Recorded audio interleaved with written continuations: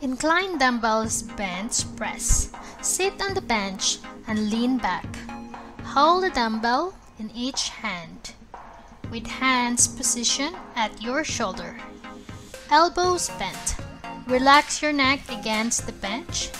Keep your feet on the floor. Press both dumbbells straight up over your chest. At the top of the movement, the dumbbells should almost touch each other and your arms should be perpendicular to the floor. Reverse the movement and slowly lower the dumbbells back to the top of your chest and your elbow should come down at roughly a 45 degree angle to your torso. Repeat the process for 12 reps. This is pec deck machine.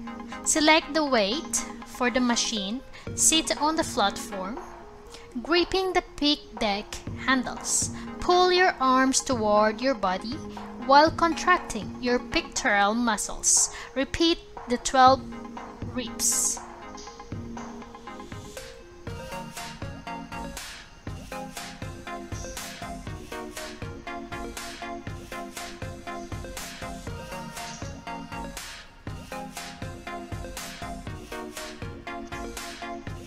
And this is seated chest press machine. Sit on the machine with your feet placed on the floor. Grasp the handles with a full grip. Thumb circled around the handle. Maintain a neutral wrist position with your wrist in line with your forearms. Push the bars outward to full extension without locking the elbow. Pause at full extension.